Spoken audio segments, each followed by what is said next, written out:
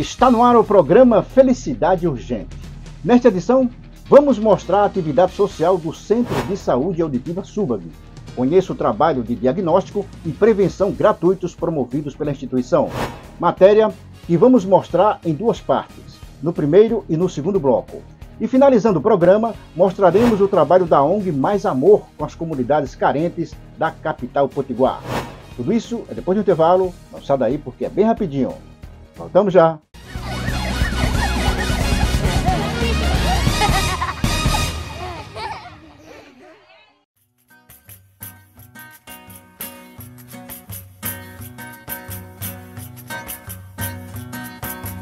Gentileza gera gentileza, gentileza gera gentileza.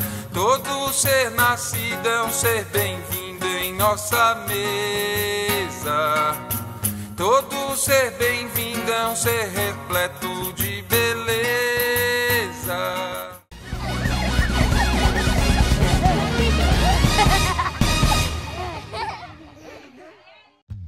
Estamos de volta com Felicidade Urgente. O Centro Subag do Rio Grande do Norte é uma instituição filantrópica que há 42 anos atua na prevenção, diagnóstico e reabilitação de pessoas com deficiência auditiva, favorecendo a inclusão para elas na sociedade. A nossa equipe de reportagem foi até o Centro Subag para mostrar todo o trabalho que é realizado por lá. Acompanhe a matéria. Na tela.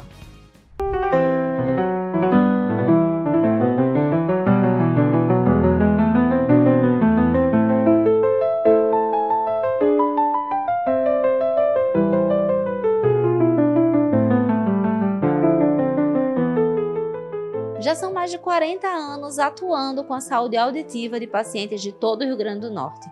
O SUVAG trabalha com a prevenção, o diagnóstico e a reabilitação desses pacientes aqui no estado. Eu estou aqui com a Yolanda, que é coordenadora do setor de reabilitação aqui do SUVAG, e ela vai contar para a gente um pouco mais sobre toda essa história aqui do centro e a importância desse trabalho para os pacientes do estado. Yolanda, me conte como foi que nasceu o SUVAG, né? A ideia aqui sempre foi ajudar os pacientes que tinham problemas auditivos? O Centro Suvag do RN, agora em agosto, vai completar 43 anos de existência. Ele foi fundado por pais que tiveram seus filhos surdos e precisavam realizar o tratamento relacionado à saúde auditiva. Como no estado eles não tinham essa assistência, eles precisavam se deslocar para outros locais. E o canto mais próximo era Recife. Então, eles idealizaram o Centro Suvag do Rio Grande do Norte e hoje nós somos essa instituição é uma instituição filantrópica de saúde auditiva e assistência social. Estamos há 42 anos no mercado, atendendo todo o Rio Grande do Norte. O Centro Sulvag tem 42 anos de história. Hoje a instituição possui 40 mil prontuários abertos, com serviços voltados para alta complexidade e 100% atendidos pelo SUS. Fala um pouco sobre a atuação de vocês, Yolanda. Como que é esse trabalho, né? Quais são os atendimentos que vocês realizam aqui no centro? Nós realizamos todos os exames relacionados à saúde auditiva. Então, o paciente que tem um interesse, tem um desejo, tem queixa relacionada à audição, se for aqui de Natal e queira ser atendido pela primeira vez, precisa ir na unidade básica de saúde da sua região e eles vão fazer essa marcação. A partir do momento que o paciente está na nossa instituição, ele não precisa mais ir para a unidade básica, ele faz essa marcação direta por telefone e via WhatsApp. Em relação aos pacientes do interior, essa marcação é feita através do CISREG, que é o Sistema de Regulação, que é feita pela Secretaria Municipal de Saúde. E é importante a gente falar que o SUVAG atende pacientes de todas as idades, né? Da criança ao idoso, todo mundo pode ser atendido aqui pelo centro. Isso do recém-nascido, a gente realiza o teste da orelhinha, que é a triagem auditiva neonatal, até a idade máxima. A gente tem paciente aqui com mais de 105 anos. E dentro né, dos diagnósticos, já são mais de 40 mil atendimentos né, que são realizados aqui pelo SUVA. Isso. No setor do diagnóstico, nós estamos com a média de 40 mil prontuários abertos e pacientes que estão em acompanhamentos aqui na nossa instituição um atendimento bem intenso, né, que mostra a importância desse serviço, a importância desse trabalho e como a gente já falou aqui na entrevista, é completamente sem fins lucrativos, os atendimentos são todos feitos via SUS. Isso, totalmente gratuito. No centro, o paciente é acolhido, realiza os primeiros exames e, se constatada a perda auditiva, ele recebe o aparelho independente da idade. O SUVAG também consegue oferecer o aparelho auditivo, que muitas vezes é bem caro e as pessoas não conseguem comprar. Aqui no SUVAG é possível o pessoal conseguir. Isso, a partir do momento que o paciente realiza todos os exames e ele tem indicação para uso de aparelho auditivo, a gente identifica a perda auditiva, é feita a indicação e a seleção do dispositivo. E aí o paciente recebe totalmente gratuito. Mônica é paciente do SUVAG e foi lá que conseguiu seu aparelho auditivo. Ela explica a importância do centro em seu tratamento. Eu fui primeiro assistir pro otorrino, né, comparado com a minha mãe. Aí o otorrino me encaminharam pra cá, pra começar a fazer o tratamento aqui na Survag. E já faz quanto tempo que você está fazendo o tratamento? Eu acredito que já faz 17 anos. E o que é que você acha do serviço aqui do Survag? É muito bom, maravilhoso aqui, atendimento. É muito bom e é importante para você, né? Como que era assim? Você sente a diferença de como que era quando você entrou para hoje? Você consegue sentir a evolução do seu tratamento? Sim, com certeza, bastante. Depois que comecei a usar o aparelho, né? Para mim foi uma coisa que melhorou bastante. Assim, meu desenvolvimento, né? Do trabalho e tal do fato do trabalho aqui ser gratuito, né? Ser tudo via SUS para você é importante. Assim, se não fosse isso, seria mais difícil para você manter o tratamento. Porque realmente eu não tenho condições, né? Não tenho plano de saúde. Então aqui o tratamento é gratuito. É bom. Me ajuda bastante. Além de todo o trabalho com o diagnóstico dos pacientes, o Centro Survag também atua na reabilitação de jovens e adultos com aulas de Libras e práticas inclusivas. Os pacientes que têm perda auditiva total, né, eles precisam se comunicar e eles conseguem fazer isso através das Libras né, e tudo isso é ensinado aqui no centro. Isso, aqui no Centro Sul, do RN, nós também contamos com a parte da reabilitação. A reabilitação, ela é para os indivíduos que têm a perda auditiva, independente do grau, ele precisa ter, o que é que a gente precisa identificar? A dificuldade dessa criança ou adolescente, que hoje, na nossa instituição, a gente contempla esses dois públicos, crianças e adolescentes, na reabilitação auditiva. Então, a partir do momento que é identificada a perda auditiva, que ele é protetizado, colocado o aparelho, ele vai para a reabilitação para os acompanhamentos. Nesses acompanhamentos, nós temos dois programas. O programa 1, um, que é relacionado à audição e fala, onde eles têm acompanhamento com psicóloga, é, a psicóloga e assistente social, ela tanto atende no diagnóstico quanto na reabilitação. E aí, ela, em relação aos outros profissionais da reabilitação, são pedagogos, fonoaudiólogos, professora de motricidade, professora de artes e uma professora de música. E artes, motricidade e música, eles estão para os dois programas, tanto para o P1 quanto para o P2. As crianças do P2 são crianças que estão inseridas no programa de Libras. O nosso intuito é reabilitar um indivíduo para ser inserido na sociedade, ou através da fala, ou através da comunicação por Libras. Hoje já são mais de 100 jovens na reabilitação e aqui eles frequentam atividades semanais. Isso, os pacientes eles vêm para cá de duas a três vezes na semana no contraturno da escola. Como é que fecha essa conta, Yolanda? Como é que faz, né, para conseguir manter toda essa estrutura, atender todos esses pacientes de forma gratuita? É um desafio que a instituição enfrenta, né? Tanto é, nós temos um, um convênio com o SUS, porém o repasse ele é insuficiente para a nossa necessidade atual. Pensando nisso, o Centro Suvag, é, no final do ano passado, de 2023, é, amadureceu a ideia de termos uma central de doação na nossa instituição para poder arrecadar mais fundos e a gente conseguir melhorar os nossos atendimentos. Agora a gente vai conhecer um pouco então dessa central de doações, vamos falar sobre a importância desse trabalho e como que você pode contribuir com essa iniciativa. Vamos lá conhecer.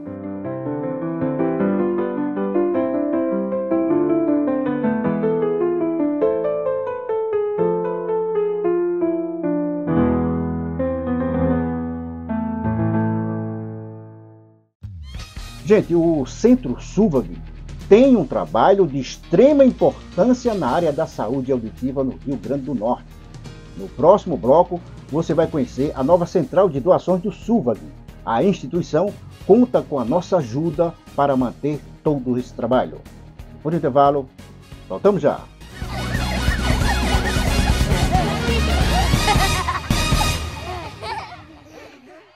Diagnóstico precoce. Game over no câncer infanto-juvenil. A regra do jogo é saber identificar os alertas. Linfoma. Fique atento aos principais sinais e sintomas. Ínguas pelo corpo sem sinais de infecção. Suor noturno e perda de peso. Procure um médico. Casa Durval Paiva. Juntos pelo diagnóstico precoce para vencer.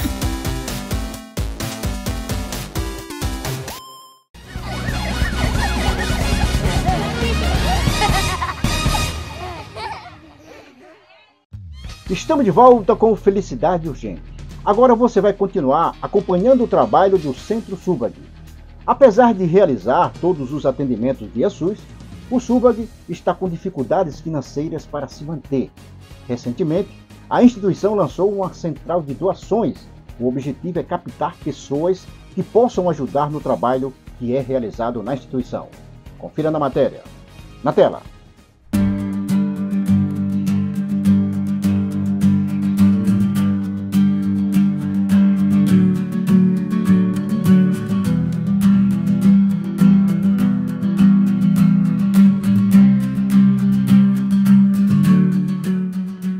Lá agora então conhecer essa nova sala que é a Central de Doações, não é isso, Yolanda? Isso, aqui é a nossa estrutura da Central de Doação e aqui é o nosso supervisor Bruno, que vai conseguir é, responder todas as demandas referentes a esse setor para poder esclarecer a todos vocês e todo mundo conhecer. Muito obrigada. Vou conversar agora com o Bruno, né, que é o coordenador aqui da Central de Doações. E Bruno, eu estava conversando com a Yolanda e ela me explicou que esse setor aqui é bem novo no Suvag.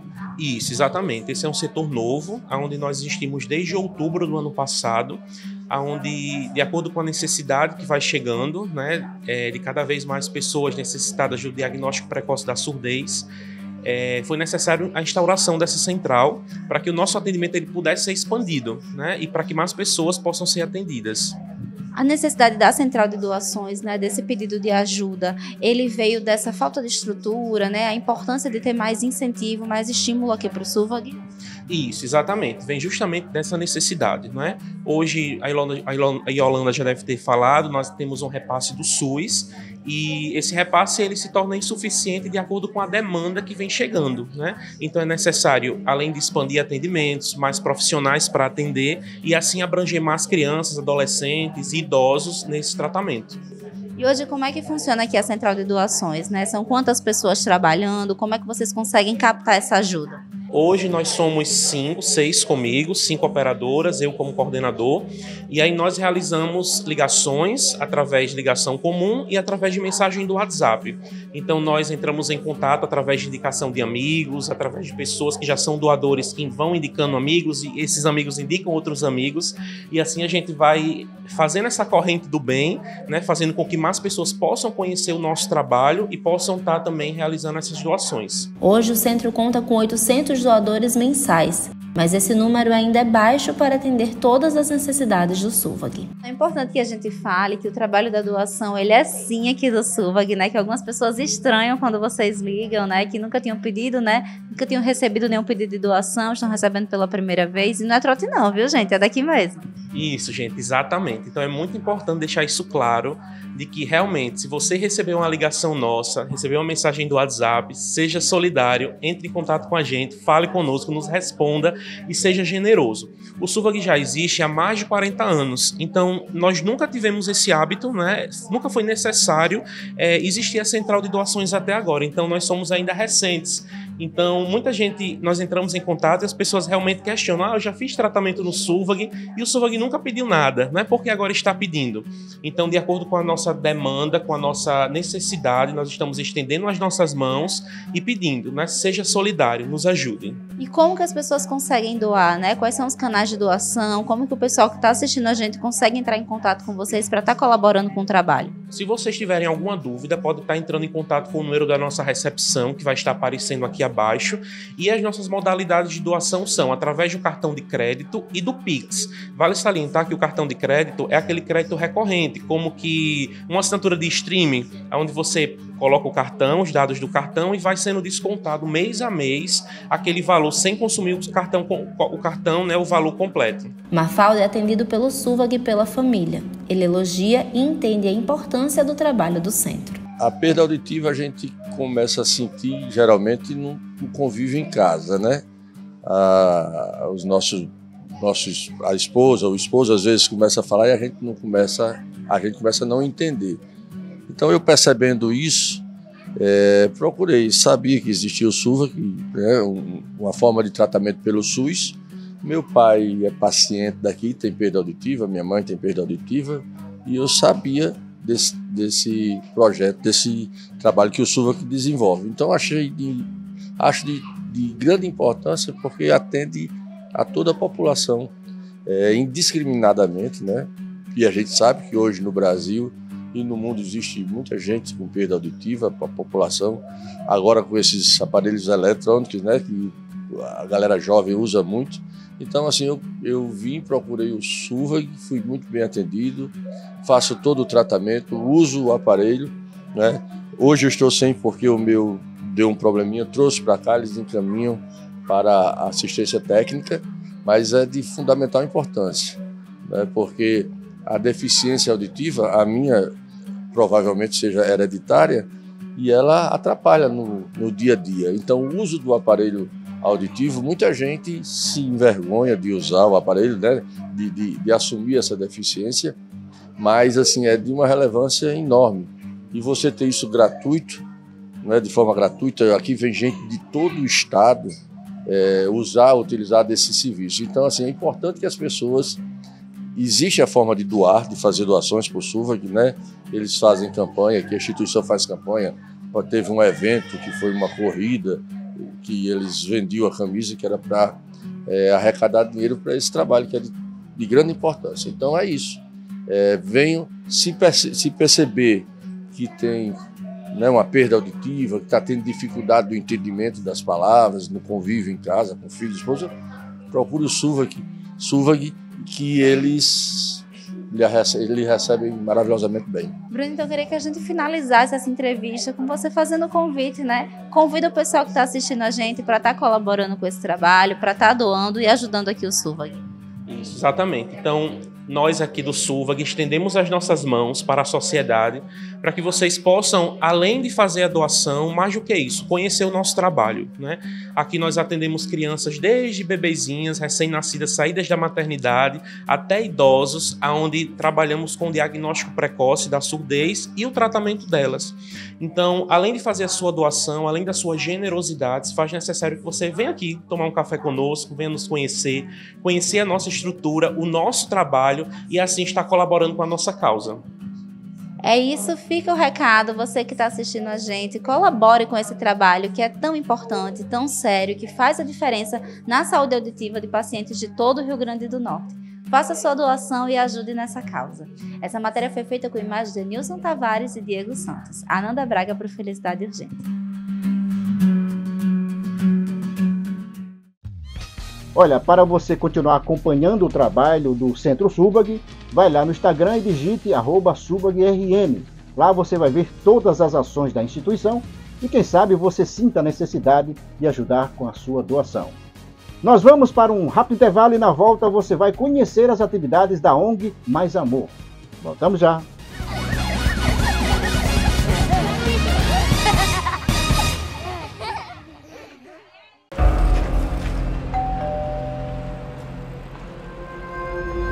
Bora que água parada dá dengue.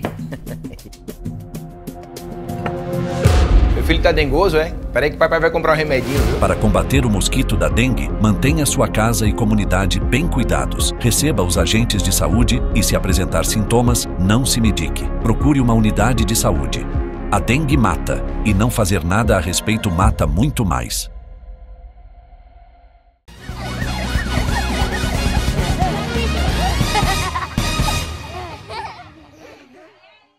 Estamos de volta com o Felicidade Urgente. Você vai conferir agora o trabalho social da ONG Mais Amor. O grupo atua em comunidades carentes, ajudando famílias em vulnerabilidade social com doações de alimentos, roupas, material escolar e kits de higiene.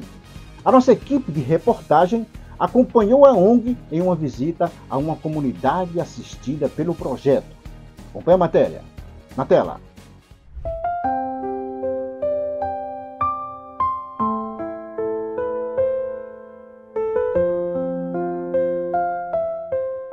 Hoje o Felicidade Urgente veio até a Cidade da Esperança para voltar a falar sobre o trabalho da ONG Mais Amor. Já estivemos acompanhando o trabalho deles, mas lá na Zona Norte agora a gente vai acompanhar uma outra comunidade que é assistida pelo projeto. Eu estou aqui com a Isis, que é voluntária e idealizadora de toda essa iniciativa. Isis, de lá para cá, né, da última vez que a gente conversou, que fizemos matéria, o projeto ainda não era ONG, houveram aí algumas mudanças ao longo desse tempo. É, nós tivemos alguma uma expansão, né? Alcançamos outras comunidades, temos agora estamos atendendo agora seis comunidades, quatro aqui na, na capital, duas nos interiores. Aqui na capital a gente atende nas Rocas, Cidade da Esperança, Parque dos Coqueiros e Jardim Progresso. Nos interiores, Serra da Rajada e Caiçara do Rio do Vento e diversas atividades acontecendo. E fala um pouco como foi que tudo isso começou, Isis. O que foi que te motivou? Por que está fazendo esse trabalho social em comunidade? Isso é uma história antiga de família. Eu fui criada nesse contexto, então eu fui agraciada, beneficiada por um contexto familiar que sempre me proporcionou esse olhar do, do, do convívio solidário. Então, quando já me fizeram essa pergunta anteriormente, eu não consigo nem imaginar ser diferente. É, é viver assim, viver no coletivo, viver pensando no próximo, para poder viver bem, viver de uma maneira é, é, saudável, sempre pensando no, no, no, outro, como eu pensaria em mim mesmo, como eu penso em mim mesmo. Né? Então, é, aqui voltando na minha terra, que eu sou, eu sou daqui de Natal, né? Eu voltei em 2019. Eu sempre atuei muito mais com minha família em pequenos grupos. Eu senti uma necessidade muito forte de participar de grupos já estabelecidos para poder fazer mais. Então, é, no final de 2019, quando eu voltei para cá, eu busquei outros projetos. Iniciei em 2020 em, em, em um, depois fui participei de outro e fui conhecendo mais ou menos como é que funcionava aqui na cidade. É, a gente foi caminhando por caminhos diferentes sem perder o vínculo, né? A gente continua na, nas parcerias e a, a, ONG Mais Amor foi tomando as formas como ela, tá, ela acontece hoje em dia. Com quatro anos de história, o projeto atende seis comunidades, sendo quatro na capital e duas no interior do estado. Hoje, 1.500 pessoas são auxiliadas pela ação com doações de alimentos, fraldas, itens de higiene, mobília e material escolar. Nós temos muitas atividades acontecendo. É, eu até brinco com, com os nossos voluntários, com os nossos amigos, né? A gente sempre se propõe a fazer alguma coisa e as situações vão acontecendo e tem situações que a gente fala assim, não, é, realmente precisamos fazer algo. Temos atuações de caráter imediato, urgente, urgente, de fôlego mesmo, como quando a gente leva alimentos, itens de higiene, como agora, que a gente está, é, é, agora não, sempre, permanente a campanha, né? É, temos material escolar que a gente leva, enxoval para as grávidas, a gente tem uma parceria com a CPGO, que é uma clínica de pós-graduação em odontologia com a turma de odontopediatria. A gente leva todos os meses nossas crianças das comunidades aqui da capital para atendimento odontológico, então a gente faz é, um chamado para ajudar com o transporte, que o tratamento é gratuito. É, nós também temos iniciação laboral, como a gente conhece essas famílias já há algum tempo, então a gente consegue entender qual o perfil, qual, quais são as habilidades dessas pessoas. Quando a gente consegue fazer algum encaminhamento, a gente faz nesse sentido.